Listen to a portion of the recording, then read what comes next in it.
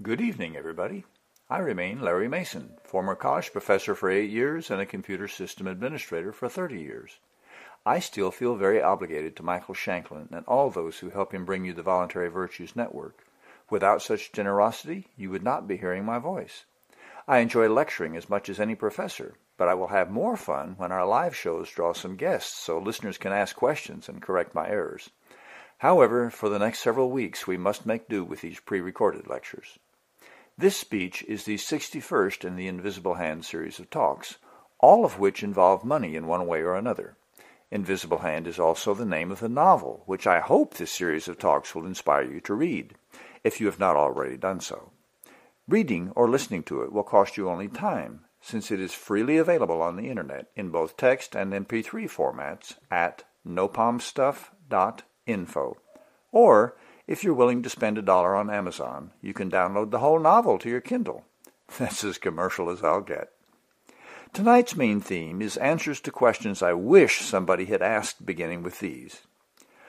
Where did you get this strange idea? What did you base your ideas upon? New innovations are developed from modifying previous innovations. What innovations provided the inspiration for this one? This clump of questions all relate to discovery. We're used to people discovering things. Let a toddler out of your grasp at the mall, and that child will discover all sorts of things, not all of them desirable. Explorers are a part of our cultural heritage. We come upon something, and there it is in all its glory, splendor, squalor, uh, ugliness, or whatever. We hear a joke, and we recognize its roots in other humorous stories and sayings. If you are old enough to recall George Burns and Gracie Allen, you will perhaps remember how she always misunderstood things. If there was a wrong way to take something that was said, she would take it that wrong way. Or you may be familiar with Abbott and Costello's Who's on First comedy routine. Misunderstanding was the root of the humor in that instance as well. It's really difficult to come up with a source of a new joke. Sure, we can find out which writer wrote the joke or which stand-up comic first used the joke in a routine, but in these cases, you can easily pick out the joke's probable ancestor jokes. The same thing generally applies to inventions in other areas as well. Look at the huge number of romance novels, or mystery novels, or western novels, or horror novels. They each are at least slightly different from the others, but to say one is really new would be stretching things. How about H.G. Wells and his science fiction stories like 20,000 Leagues Under the Sea or War of the Worlds? The idea of a submarine powered by atomic energy or interplanetary travel had not been used in literature before he did it, to my limited knowledge.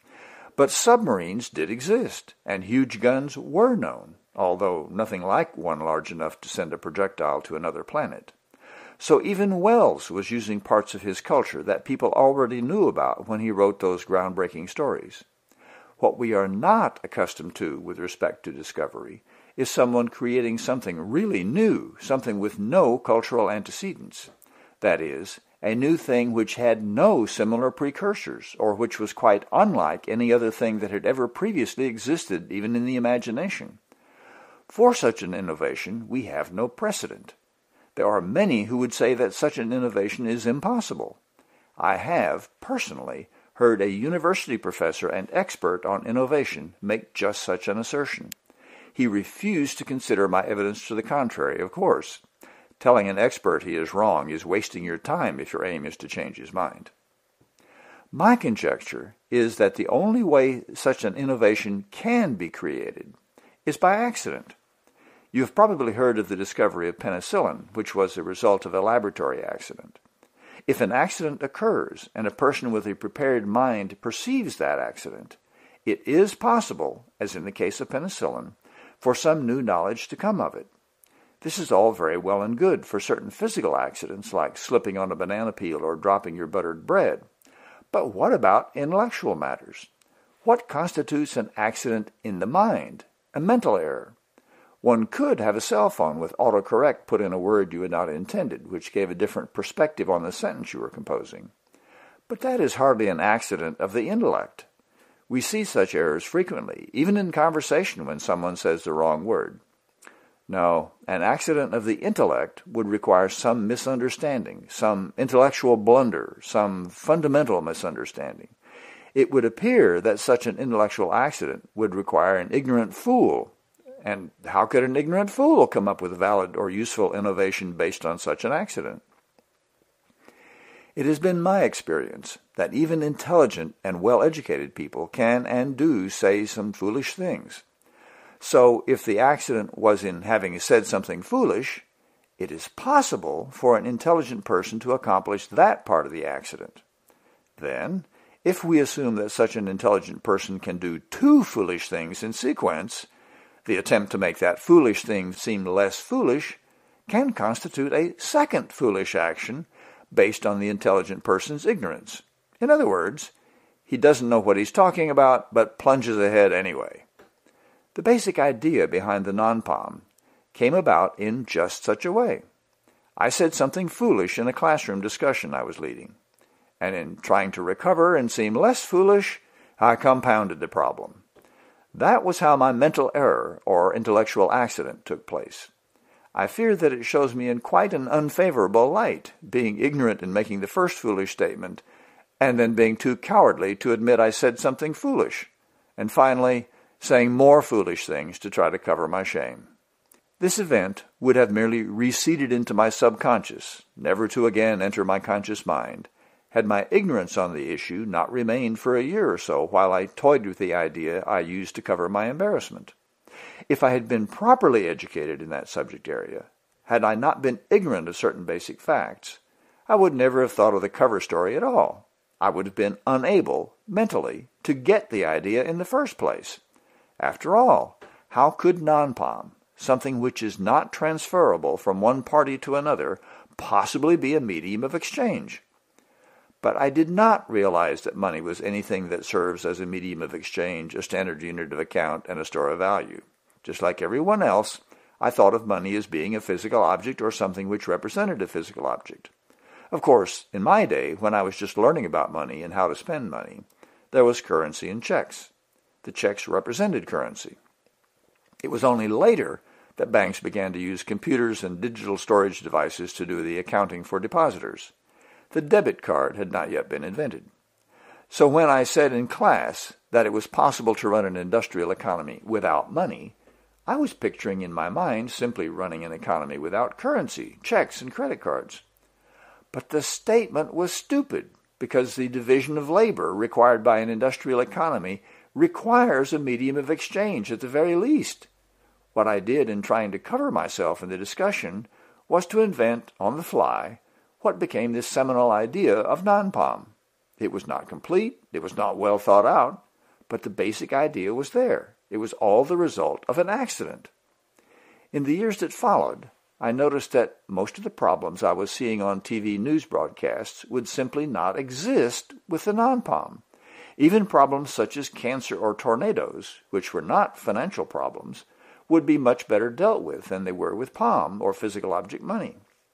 It took me a year or two to realize that the physical object nature of POM had all these evil consequences no matter what various laws, customs, or religions required. It took a few more years for me to begin realizing just how pervasive the evils of POM were. The biblical verse about the love of money being the root of all evil while not strictly accurate due to the natural disasters like storms and psychological maladies such as paranoia, did have considerable truth to it, particularly when it pertains to money as a physical object. You will please note that if I had taken it upon myself to solve even one of the most common social problems, say war or poverty or unemployment, I would never have come up with such a complete, comprehensive, and painless solution as the non-pom. Likewise, it would never have occurred to me to change the very nature of the money we use. That would not have seemed possible to me. Yet I have come to realize that it is the very nature of our money that creates and maintains these problems. War, poverty, and unemployment, for example, are all products and consequences of the nature of our money. So the only way we can actually solve problems like organized crime, political oppression, and inflation is to not consider them in isolation, but rather to look at all of them at once and see what these things have in common. As if that were not enough, after still more years of pondering, I realized that much of what happens in societies around the world is a consequence of the use of POM. Has it ever occurred to you to wonder why almost every nation in its early days creates something like the pyramids of ancient Egypt? Not that every agricultural society builds pyramids, though many do, but they all seem to create some large, for them, artifacts which serve no physical purpose in improving the lives or protecting the capital goods of their society despite consuming huge amounts of resources. Just imagine the amount of skilled labor necessary to create the temples, the seven wonders of the ancient world, Stonehenge in England, the huge drawings in Peru called the Nazca lines, which are only properly viewed from hundreds of feet above them. If the effort and resources that were invested in the development of these things were utilized in other ways, the lives of the people and the security of the economies of those nations, peoples, and societies would have been greatly improved. As far as I know, the anthropologists and archaeologists have no plausible explanation for these irrational actions by agricultural societies. They know that the work was done, but why such dysfunctional behavior was near universal is not explained. Yet the idea of the consequences of POM does indeed explain that irrational behavior. POM provided both the motivation and the means by which such structures were created. POM explains a considerable amount of the apparently irrational behavior in human societies around the world. All governments tend to act in the same ways due to POM. All nations have organized crime due to POM. Agricultural economies oppress women due to POM. Nations have poverty due to POM. War exists perpetually due to POM. The boom and bust cycle in economies exists due to POM racial, ethnic, and religious discrimination exists due to POM. Political oppression exists due to POM. Once one understands the consequences of POM, one, one can explain all sorts of uniformities in the nations of the world, features which do not exist in hunting and gathering economies, which have no medium of exchange. If I had attempted to explain any of these insanities and uniformities across the cultures and nations of the world, I would never have realized or considered the influence of the physical object nature of money. I might have noted money in my explanation for some specific uniformity, but I would never have attributed that to the fact that the money was physical objects, or represented physical objects, and was treated as if it were a physical object even when in electronic form. Therefore, the only way these explanations could have come about was by the explanation coming first and then being applied to all those features of nations in tests of the hypotheses. In other words, I came at all these things backward. I had the solution before I realized it could solve problems. I had the explanation before I realized what it could explain. So how did I come up with this idea? I was just incredibly lucky. My intentional, purposive contribution to the solution was minimal. Mostly, it was just to realize that the idea could do so many things. I don't deserve much credit for the idea at all. I think thousands of others could have done as well or better if they had been similarly lucky in being foolish and having the same moral failings that I have. Our next question has to do with how a non-POM system might fail or be impossible. A substantial proportion of the people who have been exposed to this idea have said, before they even understood it, that it was impossible, it would never work, and it would never be adopted. I attribute that proportion to my failings as a salesman, as a person who is good at persuasion. I'm not good at swaying others, or as a showman. But regardless of the number of people who doubt, or the proportion who doubt, the question needs to be asked. How could a non-POM economy fail? We already know many ways that POM economies can fail because we have watched them fail many times over throughout history. We will skip the question of whether it could be adopted because that depends on POM, not on non-POM. Even though adopting non-POM might be the only rational thing for a nation to do, POM produces irrational behavior by individuals and nations all the time. See the archive for previous lectures on war, poverty, unemployment, discrimination, and so forth. Non-POM requires some people whose duty it is to evaluate the benefits and harms which are the consequences of the actions of others. That is, some persons have to decide the amount of earnings of those who produce net benefits. There must be some minimum number of such people for any economy. Some proportion of the functional adults in an economy must perform this task. If not enough people have this role, the system will fail. There is a companion requirement that there not be too many persons in this role. There must be some maximum proportion for each economy of such persons. If that number is exceeded, the economy will fail for lack of production. There will not be enough people producing net benefits to keep the economy functioning. So this is one obvious way in which a non-POM economy could collapse. Non-POM requires that there be sufficient basic necessities produced for everyone. If that is not the case, the system fails. So if there is some natural disaster, such as a supervolcano eruption or a failure of the power grid due to a solar flare, the system will fail. Of course, this lack of necessities must last for some time before the system will fail, a few months perhaps. But if the condition appears to be permanent, then the non-POM system will not work.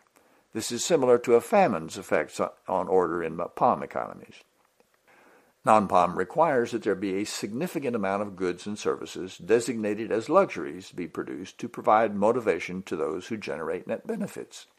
If the productive resources of the economy are unable, for whatever reason, to provide both necessities for all as well as sufficient luxuries, then there will not be enough potential earnings to keep the system operating. This is similar to a shortage of money in POM economies, as when banks fail and shrink the money supply see the Great Depression. Non-POM requires a network of computers and software functioning most of the time. Please note that there is no need for the computer services to be operational 100% of the time like the airlines and power grids require. It seems to me that the computer network could be down for a couple of weeks without wrecking the system. People would find that annoying and inconvenient, but it would not bring down the new social order. On the other hand, an economy which does not have at least a simple internet or its equivalent would not be able to adopt non-POM. The records, the accounts of each person who has money must be maintained and computers are the only way that can be done without human cheating. That is, the computer system can follow its programming instructions without trying to cheat and without being tempted by bribes. Human accountants, keeping the records by pen and paper or stylus and clay tablets, can be tempted to cheat and accept bribes. The amount of information which must be processed and stored for the system to work is simply far beyond the capacity of the human beings in an industrial economy. Now, if the economy were simple enough, it might be possible to operate it in a cooperative manner with some type of computerless non-POM. But that economy would have to remain very small and very simple, like that of a commune, a kibbutz, or similar enclave. Non-POM economies tend to change rapidly with improvements, which would soon get beyond the capacities of human beings to operate the record system without computers. Non-POM tends to replace any POM which exists in the economy before the transition to non-POM.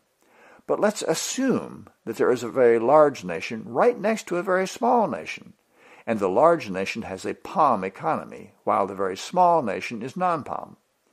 In such a situation, the large nation's POM would still retain considerable value for the citizens of the small nation. In that context, the evils of POM would remain, since the citizens of both nations would be willing to accept the POM in trade. Also, those who determine the net benefits produced could easily live a double life in the small and large nations. Thus, a nation that adopts non-POM must be relatively large or isolated. Either way, it would need to be fairly self-sufficient in case neighboring nations refuse to trade goods and services instead of POM in the beginning. To pay fairly, a considerable amount of information concerning the flow of goods and services in the economy will have to be maintained. That is, from the first acquisition of raw materials through the distribution of the finished product, each person who played a role in each of the stages of production and distribution of each good or service must be noted and their role evaluated. This is a large amount of information.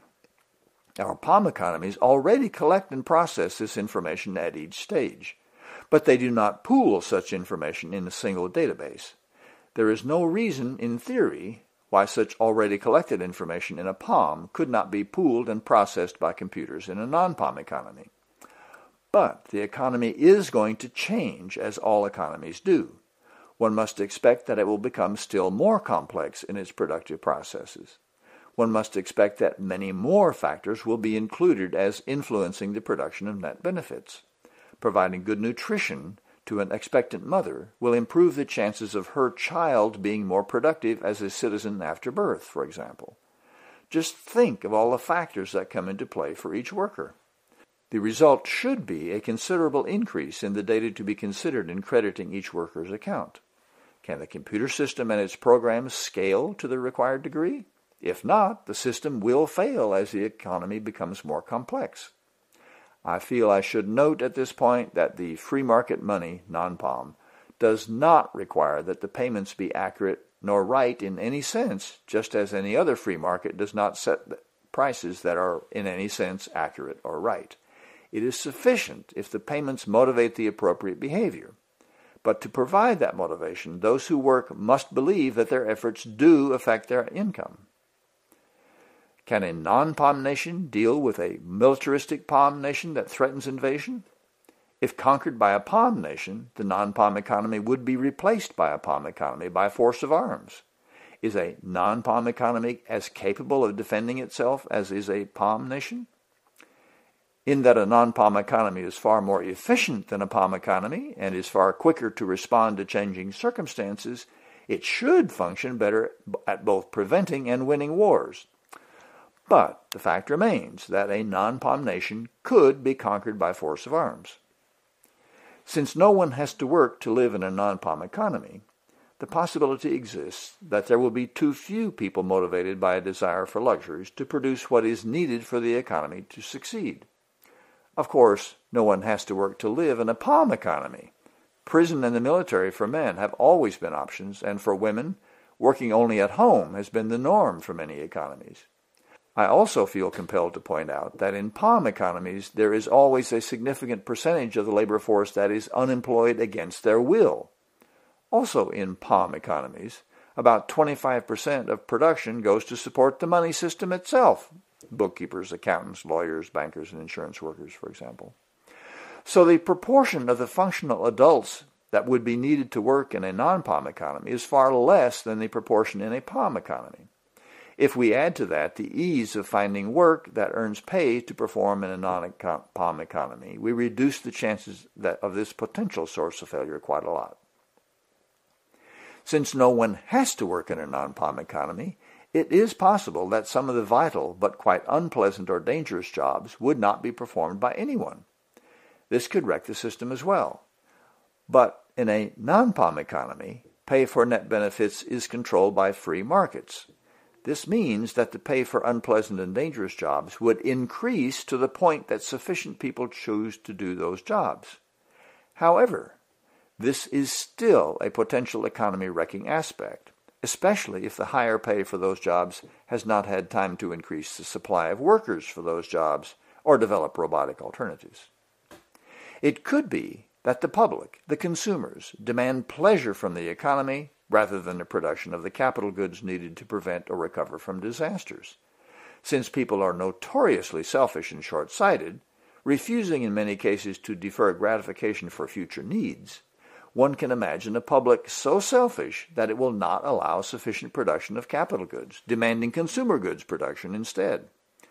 This also could destroy the economy, especially in the event of a major natural disaster. Another means by which a non-POM economy might fail would be through some social contagion. You might think of a social contagion as being an extreme fad or craze. We old folks can remember the hula hoop fad, which spread rapidly across the U.S. in the late 1950s or thereabouts. That craze was innocuous and actually got many people who would otherwise have just sat staring at the few TV shows that were available in those days to get up and exercise. But not all instances of social contagion are benign. One can imagine some fad which is bad for health or sanity, such as is the case with some recreational drugs. But there are also memes and memeplexes, which can become extreme as well. If everyone became Shakers, a religious group which practiced celibacy, the society could obviously collapse. Similarly, one can imagine an ethical code or even an ethical system which becomes predominant and requires that benefits be defined only in terms of what is good by that code or within that system, and ignoring actual harm done because that harm was not a result of behavior which violated that code or which was opposed by that system. Those large stone heads on Easter Island were a major reason why the trees on the island were all cut down, since those trees were used to move the heads from the quarry to the shore. The ethical system of the people of Easter Island required that the heads be created and put in place despite the harm that action brought about. Devotion to such a system with non-POM could cause the economy to fail. As it happens, Easter Island was a POM economy.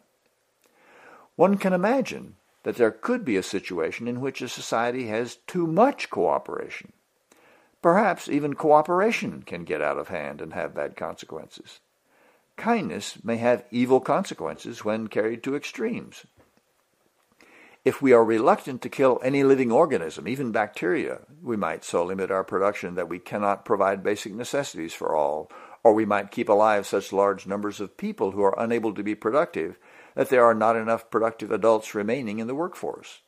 One can picture a science fiction future in which billions of people of extreme age exist in life support tanks, unconscious minds living in bodies kept alive by advanced technology, similar to what occurred in the movie Coma in other words, it may be that the virtues which non-POM encourages would become vices by virtue of the way they were pursued. I find this difficult to believe, but logical or not, I must admit that such is a possibility. Coordination in POM economies tends to be imposed by force. The command economy, in which the head of state issues orders which everyone must obey on pain of imprisonment, death, or torture, is an extreme example. But even in so-called free market economies, using POM, one tends to work under the threat of losing one's job and take orders from above oneself in the hierarchical bureaucracy. So this is how we are used to coordination being achieved. But there are some instances, such as open source software, in which coordination is achieved and maintained without force or the threat of force. We are all familiar with Wikipedia, which shows considerable coordination without anyone being ordered around. Reassuring as that is, it may be that there are certain kinds of necessary projects which simply require coercive coordination to function at all. Perhaps the present-day projects which employ eminent domain, like the Three Gorges Dam in China, would be impossible with a non-POM economy. How would a large highway project, such as the U.S. interstate highway system, be built with a non-POM economy? Sure, such a system would produce a lot of benefits to almost every citizen in the nation. But to achieve those long straight stretches with only gentle curves requires a lot of land. What if some landowner in the middle of the site of a cloverleaf refused to allow his land to be used for that purpose? What if he preferred to keep it as a puppy farm where he could raise small yappy dogs? What if he simply did not care about the additional income he could have from the highway? I mean, there must have been scores of thousands of landowners whose land was taken to build the interstate system. Surely some of them did not want to sell their land and had to be forced to cooperate. Could the informal social pressure from friends and neighbors be sufficient to gain compliance in enough cases to allow for all the necessary large projects? And then there's the whole matter of who's in charge on large projects. How is that settled with non-POM? With POM, it's a big money power struggle, with the government being the pawn used to settle who gets to be king of the hill for the project. With non-POM, there is no government involvement, and the persons who decide on individuals' earnings only enter the picture after the fact, when consequences become obvious. Unless large projects can be successfully carried out and coordinated with other events and projects, the non-POM economy must fail. It is my best guess that the leadership role would be assigned to those with good, a good track record, those who have a reputation for successful completion of such projects in the past. I am confident that I will be able to think of other possibilities for ways and situations in which the non-POM system would fail. POM has provided many examples of ways in which POM economies and the POM ethical system have failed in the past. So we know for sure that POM has a serious destabilizing effect on human economies and nations. The question is, does non-POM give us better odds of success in our efforts to survive as a species?